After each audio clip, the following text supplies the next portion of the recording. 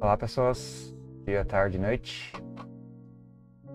Mais um vídeo no canal Roteiro da Vida, sou eu, Kai. O vídeo de hoje é um AF. AF de anime, aforismo filosófico. Ou aforismo filosófico. Aforismo, aforismo filosófico, tanto faz. É... Tô cansado, não sei se eu vou pensar direito nessa vez, tá? Tô exausto, tô morrendo de sono, quase dormi aqui. Deu uma relaxada, pisquei o olho, a dar uma piscada assim, tipo, vou dormir na cadeira, droga, que acordar pra fazer a porcaria de CF. Acordei, eu tô bem zonzo. Mas bora lá então, só pra cargo de consciência. O F da vez é esse aqui, vou gravar. Cortar a bica rapidão, tá? Esse anime, Bleach.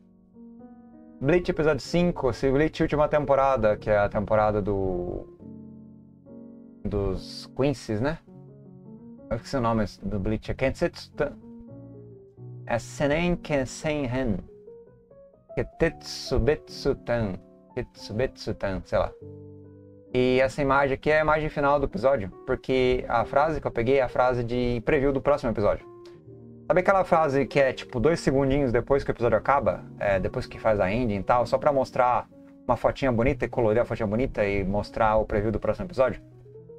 Então, eu peguei duas frases de Bleach de acordo até o momento, pelo menos que eu achei mais relevantes, porque as outras são ok, né? Não faz sentido pegar. Mas essas duas eu achei bonitas para trazer para fazer a F, tá?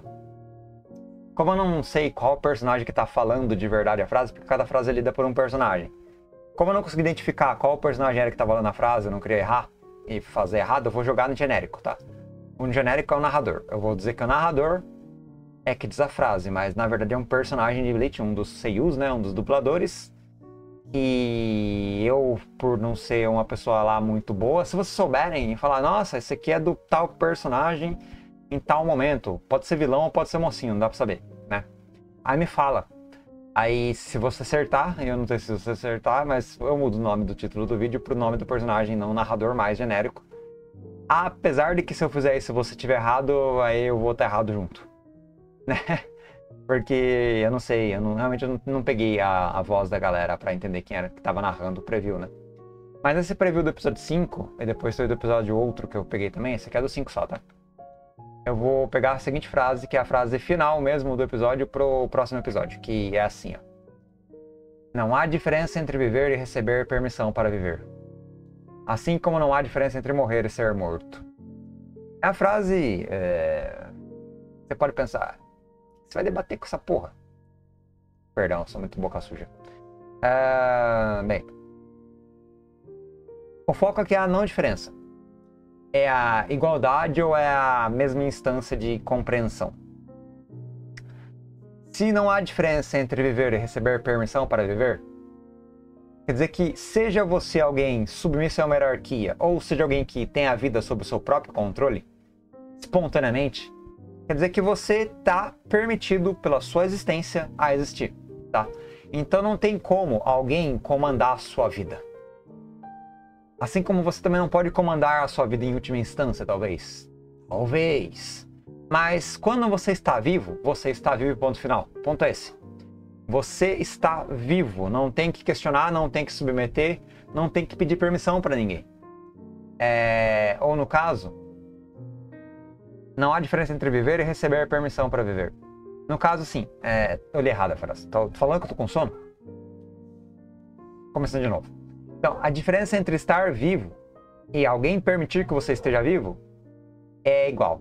Então, a entidade que permite que você está vivo é a sua própria vida. Você está como uma marionete, um bonequinho, sendo controlado por alguém que permite a sua vida, ou talvez você não tenha nenhuma corda, nenhuma, nenhum controlador, mesmo assim, a sua vida não sendo controlada é equivalente a alguém permitindo que você viva. No seguinte sentido: é, pai e mãe. Ou no pai e mãe. Pai e mãe tem um filho, uh, nasce o um menino, não aborta, mas nasce. Aí num belo dia eles olham para um moleque de dois anos, ou um, dois meses, melhor, dois meses. Dois meses de vida e olha assim, ó. Vou permitir que você fique vivo, vou cuidar de você, vou alimentar você, você vai crescer saudável. E aí pronto, você tem a vida permitida. Permitida por quê? Porque seu pai e sua mãe escolheram deixar você vivo. Podiam te matar. Como te matar com dois meses? Do jeito que eles quisessem. Queimado, afogado, esfaqueado, asfixiado, Não sei, né? Tem N modos de matar um bebê. Não que eu vou matar alguém um bebê, não que eu esteja sugerindo que vocês matem bebês. Mas entenderam a lógica, né? Então você tem permissão. Permissão de quem? Da entidade mais poderosa. A entidade mais poderosa é aquele que está acima da hierarquia. Quando você pensa num ambiente, um mundo natural mesmo, você é permitido para ficar vivo pela água, permitido ficar vivo pelo alimento, permitido ficar vivo pela, pelo vento, pela tempestade, pelo fogo, pela, pelos animais selvagens, permitido pelas bactérias, permitido pelo próprio cosmos e o sol. Toda circunstância, todo o contexto que mantém você vivo permite que você esteja vivo. Quando ele parar de permitir, você morre. Assim, não sobra nada. Ah, o meio ambiente realmente tem um vulcão ali. Eu moro à beira de um vulcão, estou me alimentando ali, do nada o vulcão entra em erupção. Eu morro. Porque o ambiente não permite mais que eu esteja vivo. Ah, não, aconteceu uma tsunami e eu morro. O ambiente não permite que eu esteja vivo. Ah, um animal selvagem me degolou e me matou. Eu morro, porque o ambiente não permite que eu esteja vivo. Há um outro ser humano que tem raiva de mim porque eu peguei a mulher dele, e traí, a mulher traiu ele comigo, tem raiva de mim e me mata. Mesma coisa. O, o meio ambiente, a sociedade, no caso agora, né? A entidade que vive no meio ambiente, que é a entidade humana, a espécie humana, dentre as quais as que têm vontade, raiva, ódio, rancor, e ganância, porque acho que possui a namorada e não pode ser traído, porque corno é, é violência contra a honra do cara. Aí o cara que ficou com a honra maculada te mata.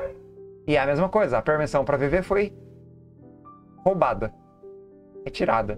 Então, não tem diferença entre você respirar agora, nesse ato, ato de instante. O respirar é o ar permitir que você esteja respirando. Então, está permitindo que você seja um ser vivo. O ser vivo é uma coisa delicada, como um cristal de gelo a, a 0,-1 graus centígrados. Lembrando que o gelo derrete a 0 graus. 0,1 menos 1 graus centígrados é o limite do limite para ele virar 0 graus. Se ele esquentar mais um pouquinho, ele vira zero. Se esquentar mais um pouquinho, derrete. Então essa é a sutileza, essa é a fragilidade do indivíduo. O indivíduo é uma coisa muito efêmera. E não só o indivíduo humano, tudo que é vivo no mundo é assim. Você pode pensar, nossa, a vida é mágica, é resiliente, vive bilhões de anos no planeta, em catástrofe em cima de catástrofe, um meteoro, é, crise climática. Não, a vida é frágil. O que vive é a molécula orgânica que não é viva, mas mantém o seu comportamento chamado DNA por algum motivo. E ela é extremamente frágil. Qualquer coisa quebra a molécula orgânica, qualquer coisa mata a bactéria, Qualquer coisa mata o vírus, qualquer coisa mata o fungo, qualquer coisa mata o ser multicelular, pluricelular. Complexo, tá? Incluindo esses cachorros lazarentos que não cala a boca. É, no lado ali. E tem cachorro pra cacete no meu vizinho agora. Tem cachorro lá. Tinha um grande, cara tinha pra caramba, chato pra cacete, que ficava no vizinho mais longe, né? Aí tem um aqui, tem um ali. Tá cheio de cachorro. Tô pirando aqui. Enfim. De todo modo, o ponto é esse: a fragilidade da vida é absurda. Pensa em um fio de aranha, da teia de aranha. Pensa na força que você exerce na teia de aranha com o dedo. Ela aguenta? Quanto de força você precisa fazer para arrebentar o fio? Depende da aranha, depende do fio, né? Mas, em tese, essa é a resistência da vida. É uma linha fina, efêmera e breve que qualquer força média ou baixa já elimina ela e deixa ela completamente à deriva, à mercê da realidade. Aí continua a frase, porque ela é dividida em duas partes, e é assim: Assim como não há diferença entre morrer e ser morto. Não há diferença entre estar vivo e permitirem que você esteja vivo, porque a bênção da natureza, a bênção de Deus, a bênção da sociedade, não sei quem permite que você esteja vivo. Lógico que é um uma soma de forças, né? Porque não é só a sociedade que permite, a sociedade permite também. Mas a natureza fora da sociedade no sentido de espécie, né? Natureza é aquilo que é matéria, matéria inerte. E a natureza humana é seres humanos bípedes que fazem comunicação, sociedade e outras coisas, né? Então separa por um período de tempo aí, por uns minutos, o que é um ser humano e a natureza. Então ambos permitem na sua própria escala de força a sua vida. E a sua vida não tem diferença entre a permissão dos humanos da natureza e a própria vida elas são iguais, equivalentes. E aí a outra metade é a seguinte: assim como não há diferença entre morrer, entre falir, entre falir é péssimo, entre entrar em óbito, entre perder a vida, é, comer raiz pelo lado errado, né? Ao contrário, né? Comer. Caído, eu esqueci a frase, como é que era a frase? Era comer capim pela raiz. É. Comer capim pela raiz, que é estar debaixo da terra. Que era essa frase. É, bater as botas, entre outras metáforas aí de morte, né? De morte. Então não tem diferença entre morte e ser morto, porque toda vez que você morre, você é morto. Ah, eu morri asfixiado, você foi morto pelo ar, gás carbônico. Ou estrangulamento, a falta de oxigênio. Ou enforcamento, por motivo da corda também, mas enfim. Ah, eu fui morto por tiro de, de revólver. Perfuração, sangramento e hemorragia e talvez órgão vital que entrou em colapso. Pronto, morreu. É, morri porque caí de paraquedas. Sem paraquedas. Caí de paraquedas sem paraquedas, né? Pulei de um, de um avião sem paraquedas e me estatelei no chão depois de uma bela queda. E morri, né, no caso. Virei panqueca. Você foi morto. Morto por quê? Pela gravidade. então o ponto é, não tem diferença entre morte e assassinato. Toda vez que você morre é um assassinato. Quem é o responsável pelo assassinato varia e tem nomes diferentes. Pode ser o, o predador natural, a águia, a coruja. Ah, a gente não é assassinado por corujas, mas enfim. Pode ser o leão, o tigre, a onça. que mais pode matar? O escorpião, a aranha, cobra, o tubarão, a orca. Quem sabe a orca como você? Você pode morrer por algum tipo de animal que mate você. Dragão de Komodo, pode ser também. Hipopótamo, hipopótamo mata legal. Bacana. Ah, elefante pode matar também. Então, morreu. É. Aí não tem diferença entre morrer e ser morto. Ah, não, não morri porque um animal me matou. Quem me matou foi um ser humano. Ah, ser humano é animal. Então o animal te matou. Por qual motivo te matou? Não interessa. Morreu, matou, assassinato. E aí é tipo assassinato no crime, no crime mesmo. É, just, é, é legalidade humana na veia, onde o criminoso pode ser punido e preso pela sua, pela sua morte. Ah, não, quem matou não foi o indivíduo, foi a, a, a ferramenta que ele utilizou. Ele matou a facadas, então a faca te matou. Ah, ele utilizou um revólver, então a bala te matou. Ah, ele utilizou o carro, então o carro te matou. Atropelamento. Então não tem diferença. Mesmo carro, pilotado ou não por alguém, é a ferramenta que te matou. Então não tem diferença entre morrer e ser morto. Porque a morte é ser morto. É óbvio. Toda vez que você morre, alguém te matou. Ah, mas eu morri de velhice. A vida te matou. a, a falibilidade do seu DNA, que não é eterno e entra em decadência e envelhece o corpo e para de replicar e tem câncer e outras mutações, e entra em colapso devido a desgaste corporal que te matou. Ah, mas eu fiz sono criogênico e fiquei preso por milênios de anos e não morri. Aí você tem uma vida longa. Mas se você não for ressuscitado, você está morto. Digamos que você nunca mais é, crie consciência do coma. Então o seu corpo vai entrar em é, um sono eterno. Um sono eterno é morte, tá? É equivalente à morte. Então a morte foi a tentativa de eternidade. A sua tentativa de ter uma vida eterna te matou. E você morreu. Então não tem diferença entre morrer e ser morto. É surreal. Ah, mas eu acredito em Deus, então Deus te matou. Ah, eu acredito no demônio, então o demônio te matou. Entendeu? Ah, eu acredito em vampiro, vampiro te matou. Você escolhe aí. É. Claro que você não vai poder voltar para a vida e falar quem te matou. Quem vai falar? Esse é o investigador, o detetive? Não, obviamente. Porque se você tiver morrido, geralmente você não se comunica, né? Se você se comunicar, você pode falar, tá? Mas, enfim, é outras histórias. De todo modo, é... a lógica dessa frase é uma lógica muito, muito simples mas é divertida. É mais pela diversão e porque eu percebi que ela é simples agora. Talvez eu tenha super, superestimado a frase. Pode ser, pode ser o caso. Mas não há diferença entre viver e permissão para viver. Ou seja, toda vez que você vive, alguém te garante que você está vivo. Quem te garante que eu estou vivo agora? A comida, o ar, a sociedade, o mundo, Napoleão, não sei, todo mundo que viveu no mundo já, né? Garante minha vida agora, né? Porque é uma cadeia de teia de relações. É complexa e interconectada. E ao mesmo tempo, toda vez que eu morro, quem me mata é exatamente a mesma pessoa que me deixou vivo. Então, a teia de relações que me mantém vivo é a teia de relações que me deixa morto. Claro que o conceito morte e vida é completamente surreal, ainda mais em Bleach que são shinigamis. Como é que um shinigami morre? Faz o mínimo sentido.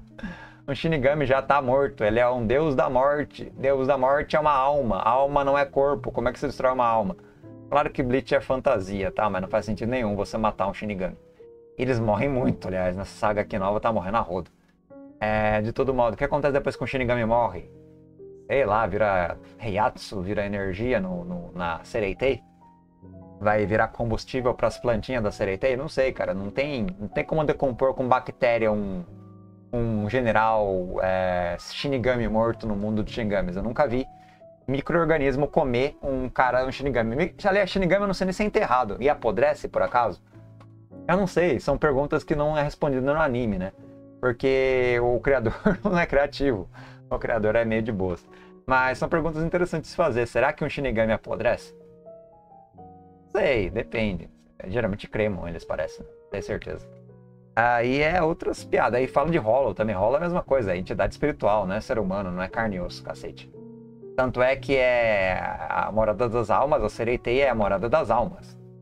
São almas, não matérias. Né? Né? É complicado. E, enfim. Nem, é muito. Se for falar de Bleach aqui, você vai ficar vendo incongruência e inconsistência na obra até, o, até amanhã. Então deixa pra lá.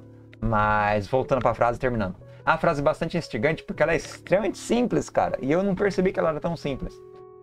Mas ela é redundante, tá? E é por isso que eu não tinha pego tantas frases de Bleach, né?